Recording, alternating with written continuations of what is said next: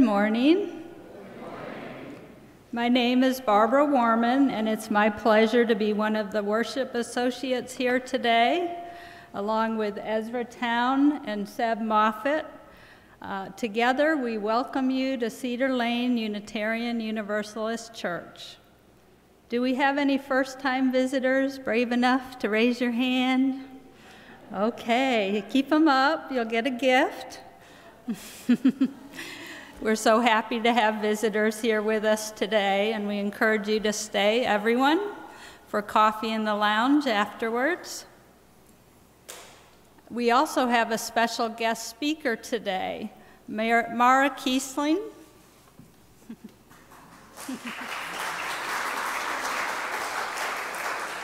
Mara is the executive director of the National Center for Transgender Equality the nation's leading social justice advocacy organization, winning life saving change for transgender people. Since founding this organization in 2003, Mara has led organizational and coalition efforts that have won significant advances in transgender equality. We're so happy you've joined us today. Now, look in your order of celebration. You'll have some announcements, what's happening here in the church in the next today, the next week, the next few months. Uh, I'd like to draw your attention to a couple things. There's a new LGBTQ uh, display right in the vestibule there, and I encourage you to look at what you can do to help with advocacy. It's very important um, advocacy work happening. There's a new display all about that. On the second side, I want to draw your attention to August 5th. There's the annual Maryland Trans Unity Potluck, which will be held here at Cedar Lane, and we hope all will think about attending that as well. For another reflection this morning, before, before we start our worship, Charlene Zelmer is coming up to talk about the Border Witness Program.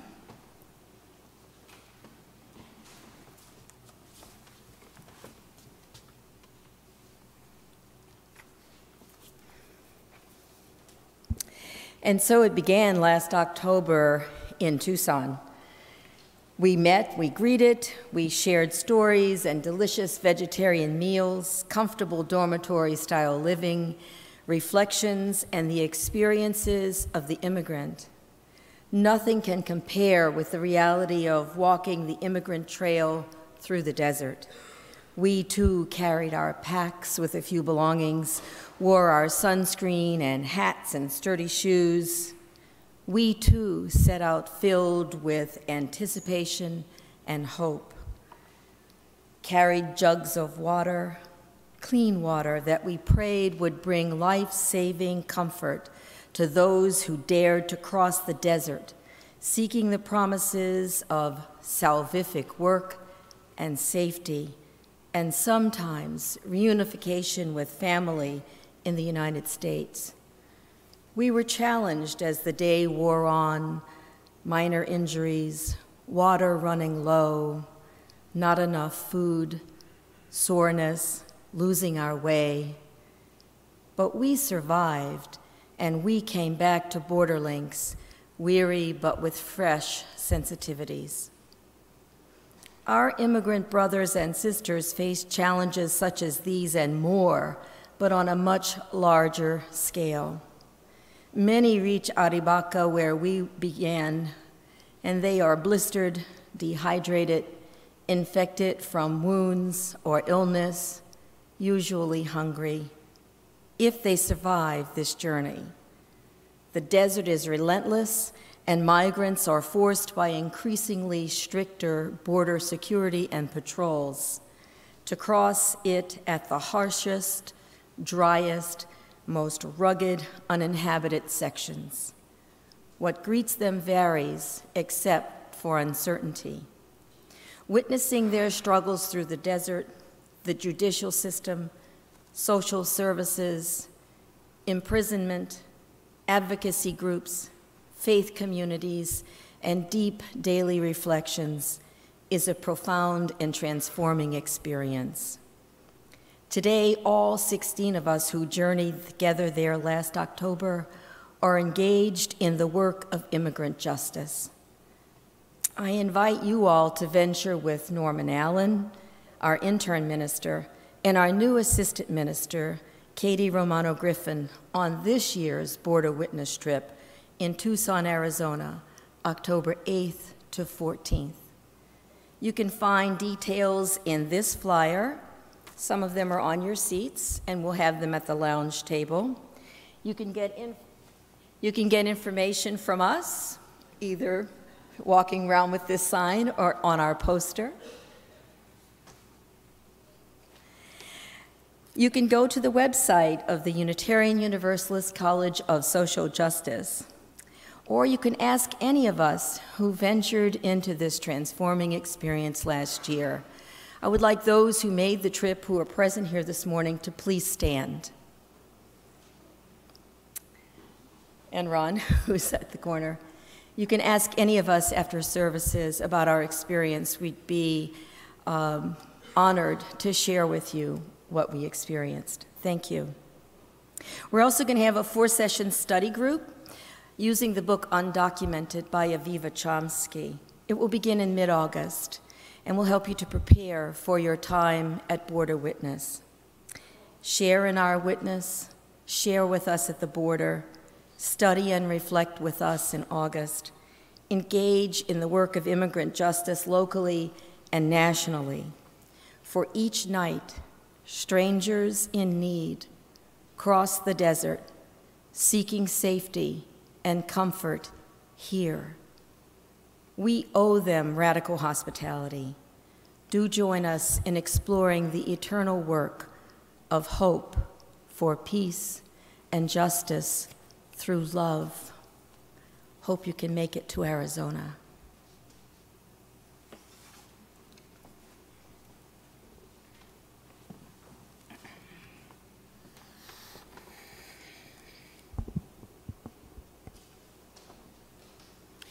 At its heart, the quest that trans people are on is to have the same thing that cisgender people do the ability to wake up in the morning and be ourselves without permission, without apology. Our lives should not be defined by wigs or surgery or which bathroom we use. Our lives should be defined by our identities and the truth we bear in our hearts. Please join me, please rise and body our spirit to Spirit to sing together hymn number 1053. How could anyone?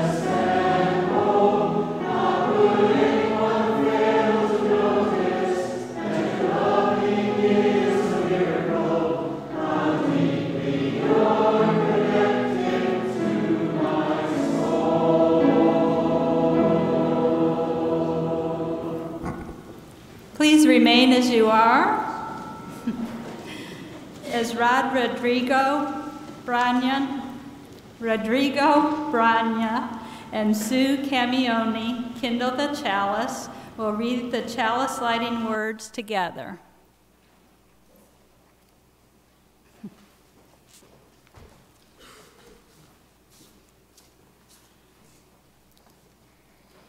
We light this chalice as a symbol of our commitment to our faith, the stable base of our founding, holds the growing light of our action. May the flaming chalice call us to purposeful growth, supported by our community and our faith. May it inspire us to build a beloved community that radiates from this place into the world.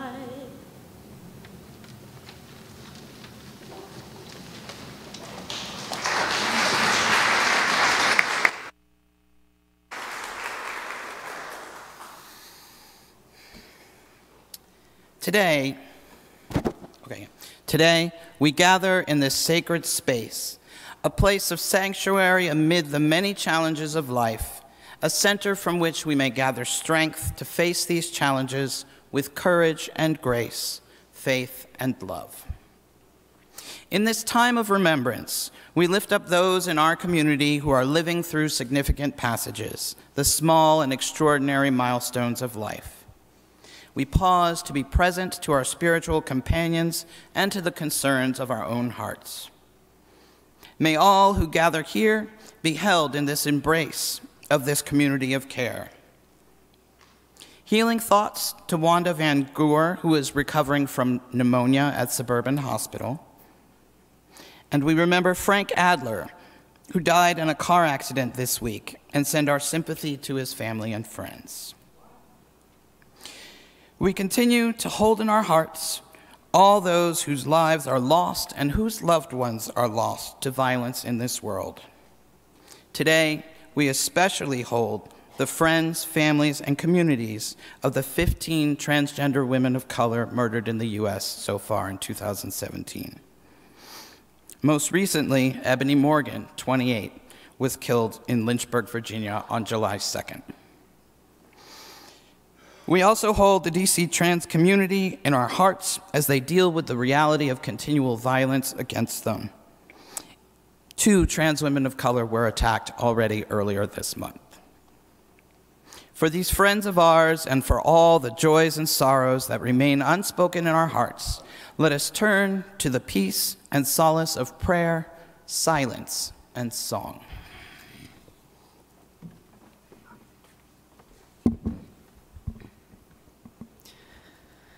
Spirit of life and love, be with us in this time as people suffer, as parents grieve, as violence rages. Be with us who feel the pain of loss, who feel anger at injustice. Stand with the oppressed and change the heart of the oppressor, for we know that both are joined in their humanity, no matter how often we forget it. Help us remember the hope we had, the hope we have, and the hope we will have. Help us remember the joy in the midst of sadness, success in the midst of challenge, and good things in the midst of bad. Help us to be better people, to work for better things, and to create a better world. Amen. During our time of silence this morning, if you are experiencing a loss or commemorating the anniversary of a loss, you are invited to stand in mourning and memory until our music begins.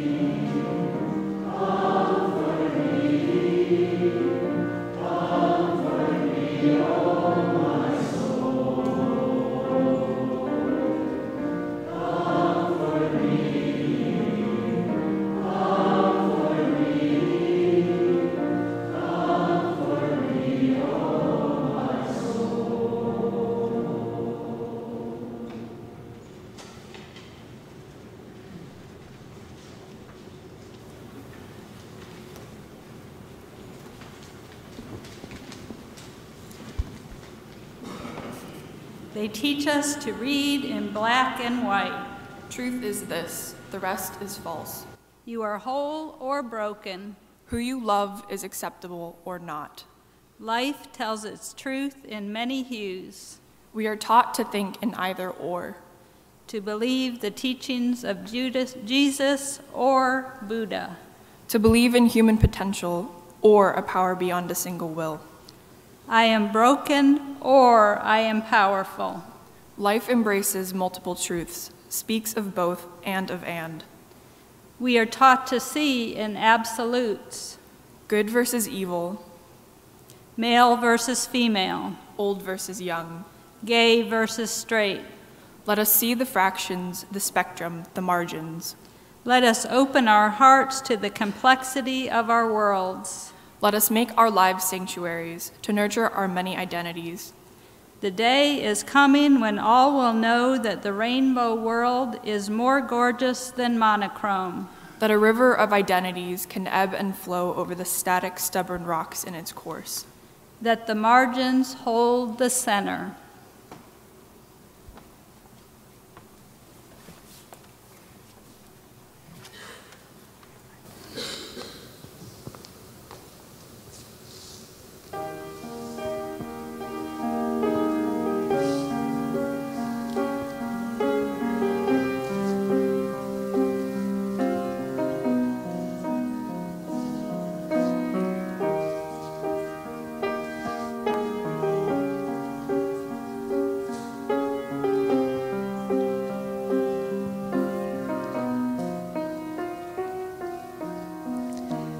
Every day is so wonderful, then suddenly it's hard to breathe. Now and then I get so insecure from all the pain. I'm so ashamed. I am beautiful no matter what they say. Words can't bring me down. I am beautiful in every single way. Words can't bring me down. So don't you bring me down today.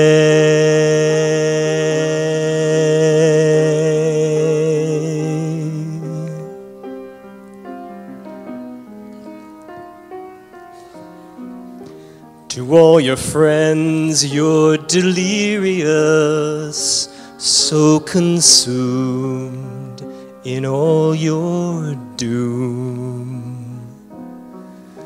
Trying hard to fill the emptiness, the piece is gone, left the puzzle undone. Ain't that the way it is? You are beautiful, no matter what they say. Words can't bring you down. You are beautiful in every single way.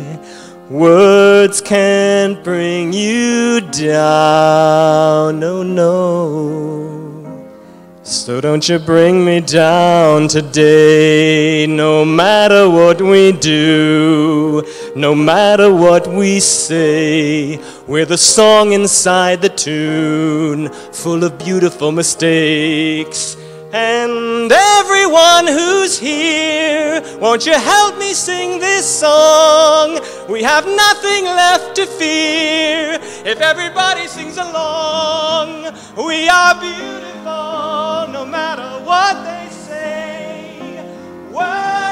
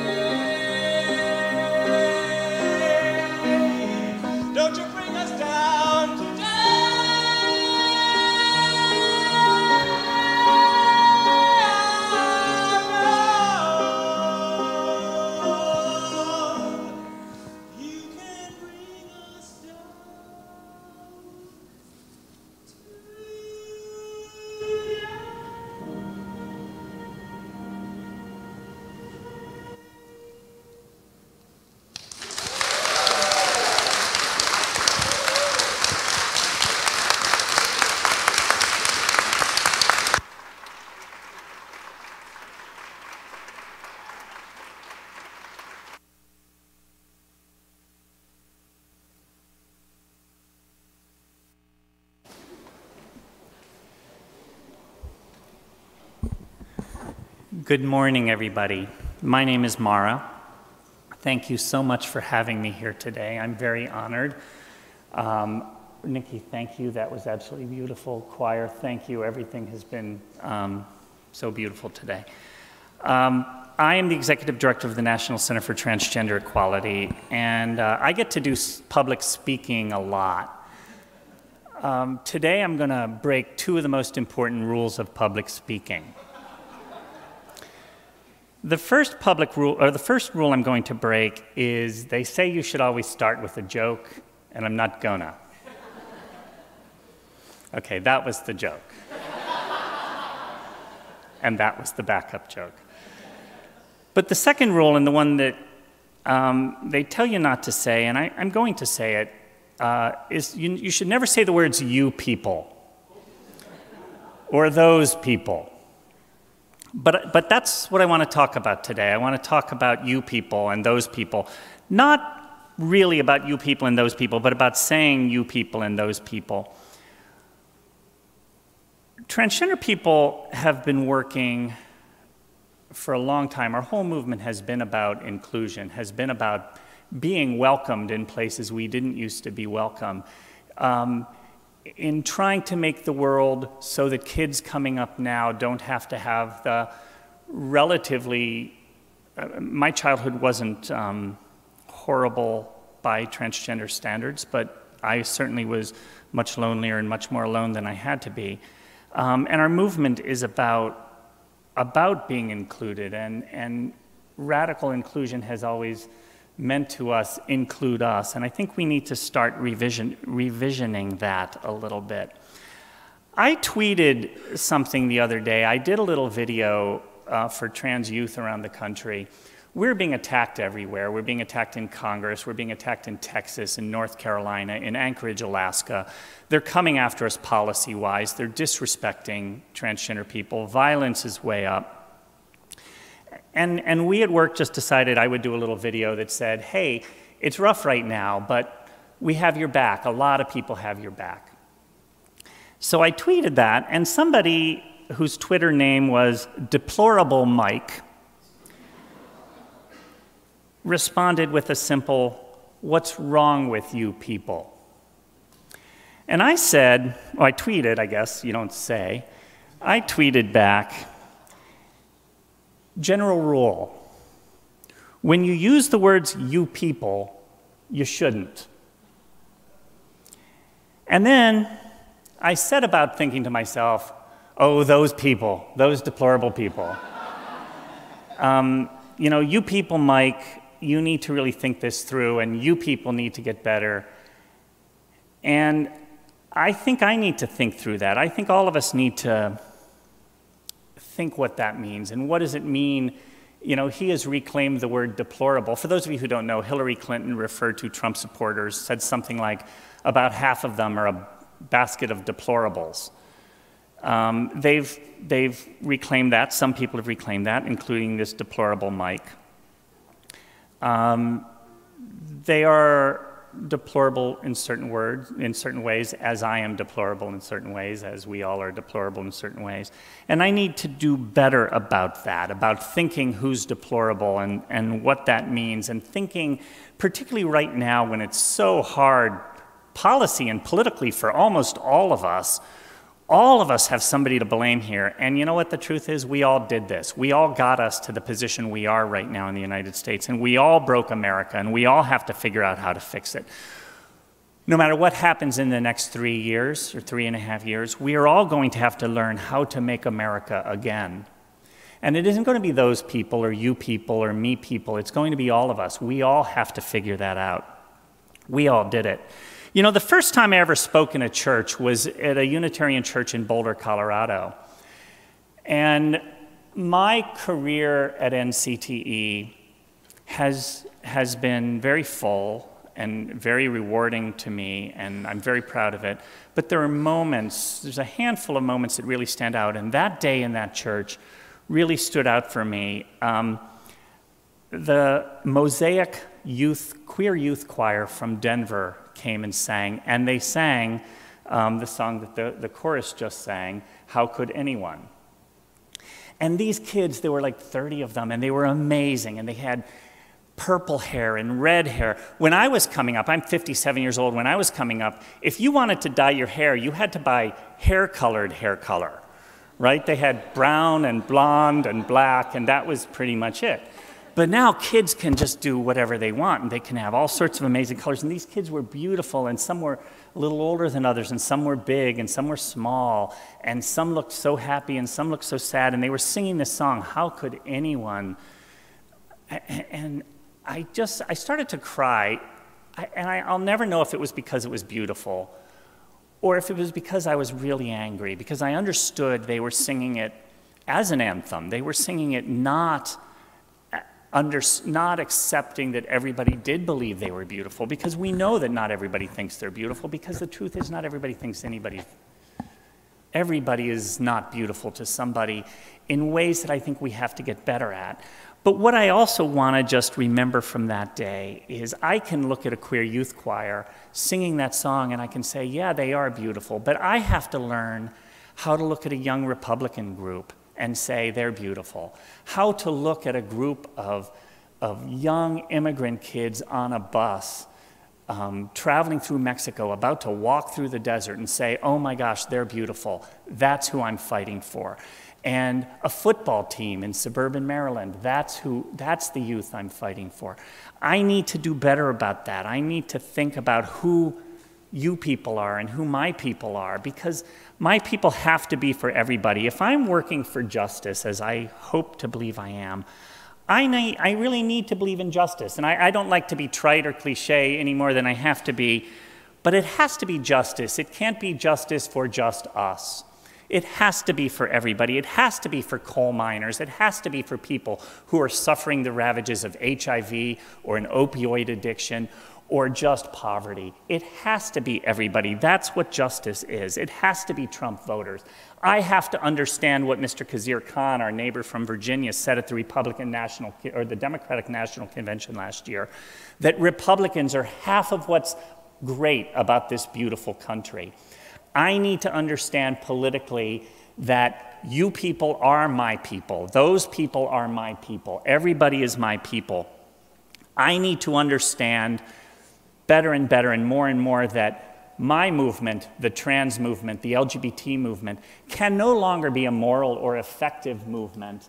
Uh, and I believe it has to be both. I believe we have an obligation to fight and I believe we have an obligation to win. Effectiveness is important, but it has to be a moral movement. It, and in order to be a moral movement and an effective movement, we have to understand we're a transgender movement and an LGBT movement. But we have to be a pro immigrant movement, an anti racist movement, an anti poverty movement, a pro woman movement, a pro worker movement, a pro religious freedom movement, a pro journalism movement. We have to be fighting for justice. And sometimes we forget that. We as trans people, me as a trans person, often sometimes forget this. In 2001, I was visiting with um, the Senate Minority Leader in Pennsylvania, who was a fairly liberal Democrat. And he wouldn't do what we wanted him to do. We were trying to get transgender people put into an LGBT hate crimes bill. And he said, no, we'll lose all the Democrats' votes punchline, by the way, six weeks later, we won it with all of the Democratic votes and 13 Republican votes.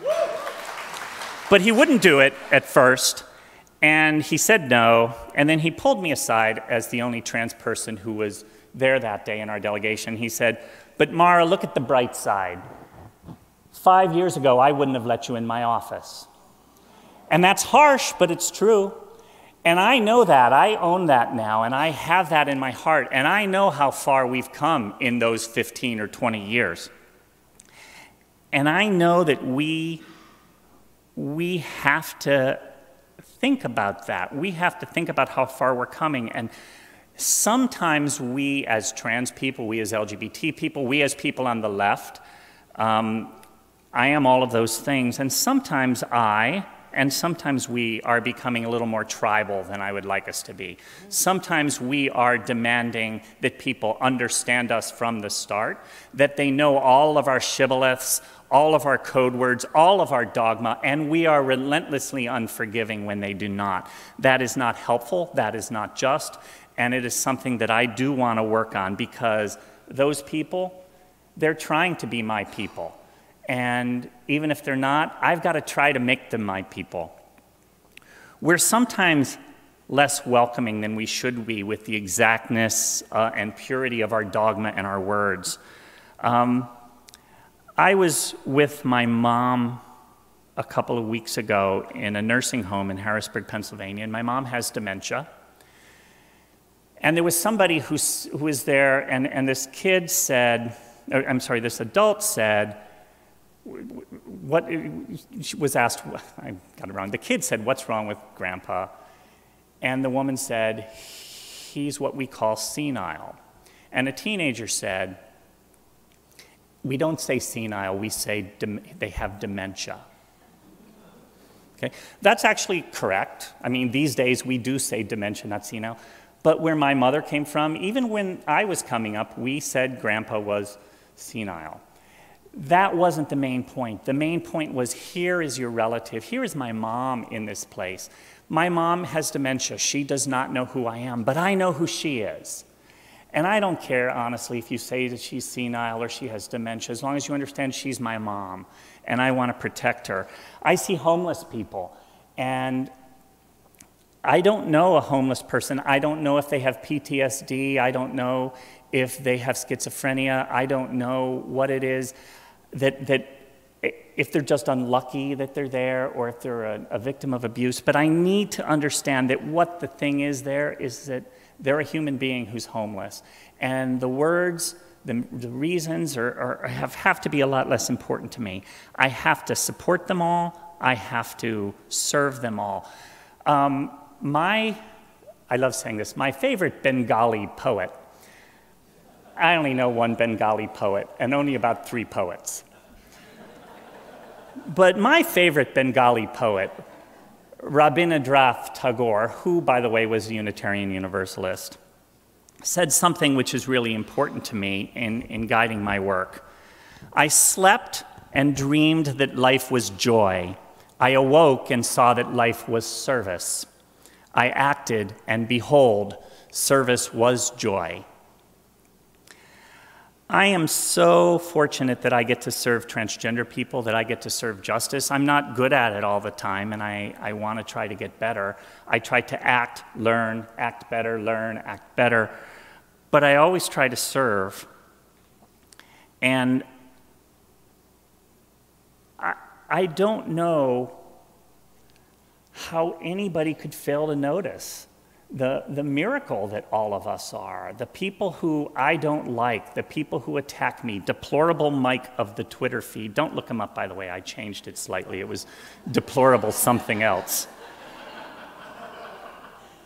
But boy, it's a miracle that deplorable Mike is, is on the planet. It is for all of us. We are all so amazingly lucky that we get to have the experiences we have all of, some of us get much better experiences than other people. Some of us, our experiences are hell almost our whole lives, and I get that, but it is still a miracle that we are here.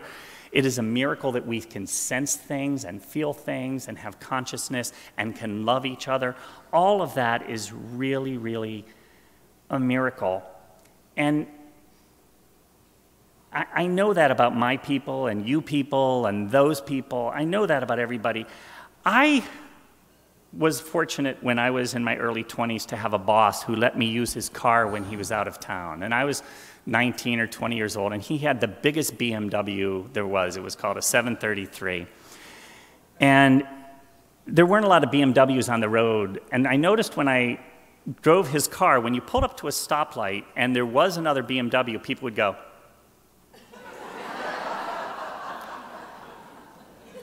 And my friends and I, as we spent all of our time driving around in my boss's nice car, we would look for other BMWs so we could go.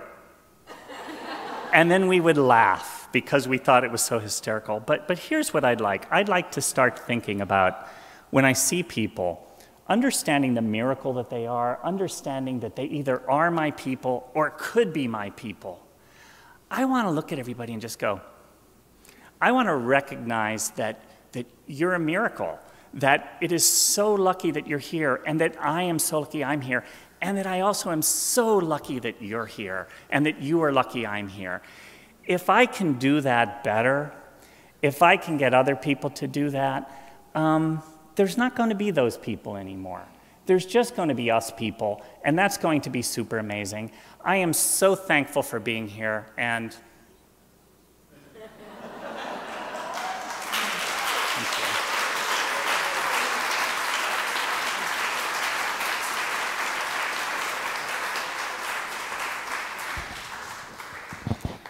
Thank you, Mara.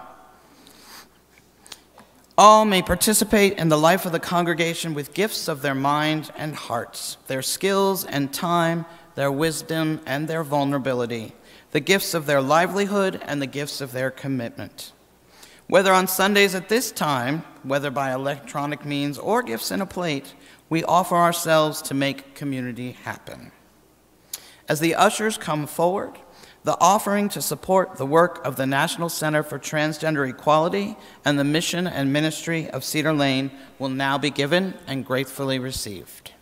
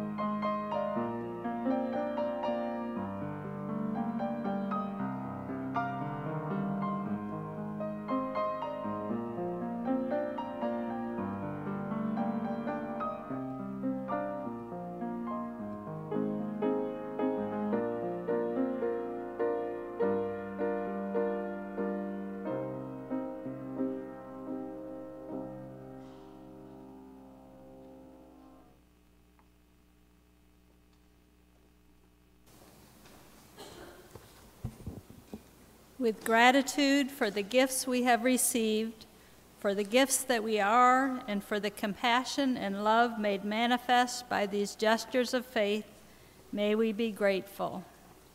Please rise in body and spirit to sing together hymn 1019, Everything Possible. Uh, normally, we have the summer choir here, and uh, Nikki Ames stepped out of the summer choir this morning, and that was by design. I invited her to sing with us, so just to clarify that she was an invited soloist who came this morning and was kind enough to sing in our summer choir. This is the last appearance for the summer choir, so disregard what you read in the uh, order of celebration. There will be no summer choir next Sunday. This is a, a, a challenging song, as are several in this book, and uh, which is why I'm very cautious about uh, when we sing together. So, I've never had you all sing this song together before. We'll give it a shot and see how it works.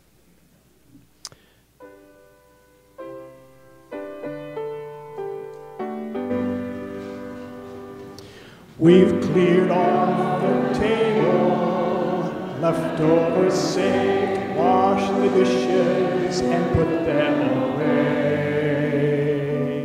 I've told you a story, tucked you in tight, and the end of your knockabout day.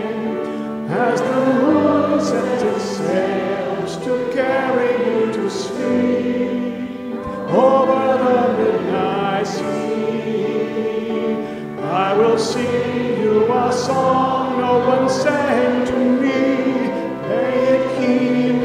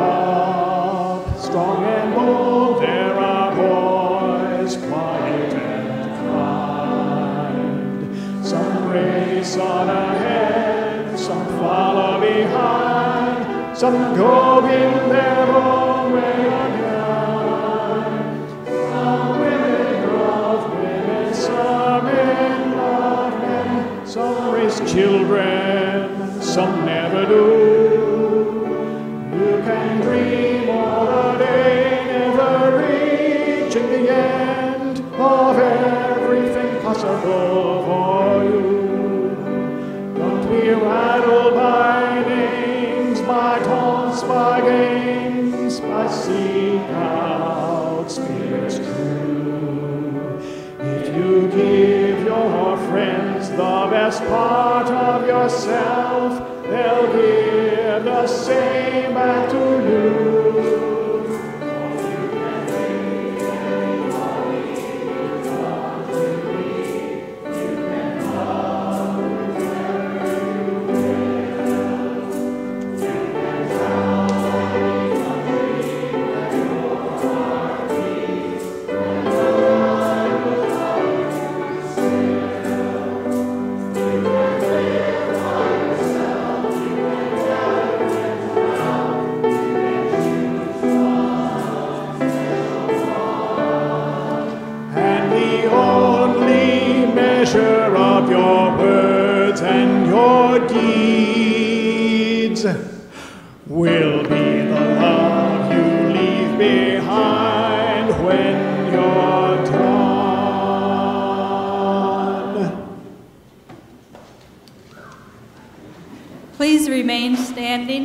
closing words.